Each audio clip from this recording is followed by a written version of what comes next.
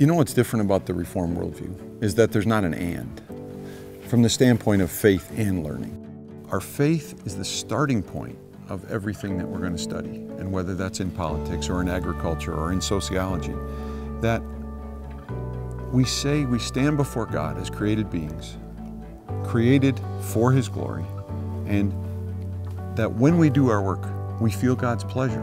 Whether that work is writing a paper, singing choir, studying, praying, laughing with others, that we stand always before the face of God to do the things that He's called us to in faithful ways. What we're trying to do at Dordt is to create an environment in which students can catch a glimpse of how wonderful it is to serve God and to grow their own faith in exciting ways so that they want to go out from here and change the world. I'm absolutely amazed at the folks that are putting their hand up and coming here to teach.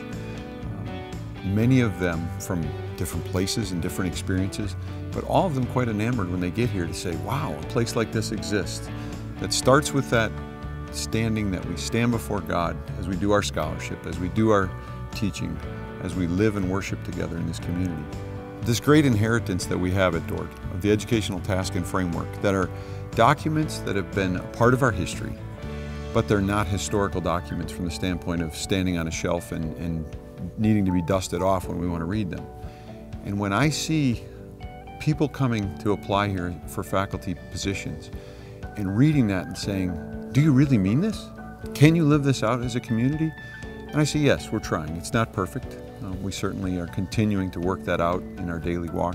And we're trying to do that faithfully, not in a we've got it all figured out way. Uh, but I do think it's special and it's something that we're going to build on. I think we're waking up to realizing that, that God's calling us to something bigger, something that's built upon the faithful beginnings that were here, but is bigger. And we're seeing students come here and say, This is what I want. And we're seeing professors to say, This is a great place to serve.